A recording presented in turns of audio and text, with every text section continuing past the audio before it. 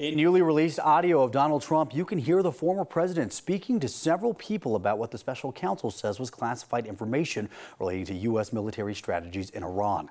CNN has been sharing that audio. The special counsel is expected to use the audio as evidence against Trump. He has pleaded not guilty to 37 felony charges relating to his alleged mishandling and retention of classified documents.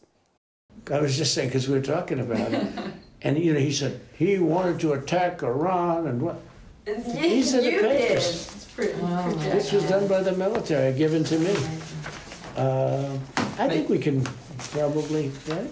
I don't know, we'll, we'll have to see, yeah, we'll have to try to Declassify. figure out it. a, a- yeah. See, as president, I could have declassified Yeah. it. Now I can't, you know, but this is Yeah, now, classified. now we have a A Trump campaign spokesman released a response saying, quote, the audio tape provides context proving once again that President Trump did nothing wrong at all. And he called it, quote, another Democrat DOJ hoax.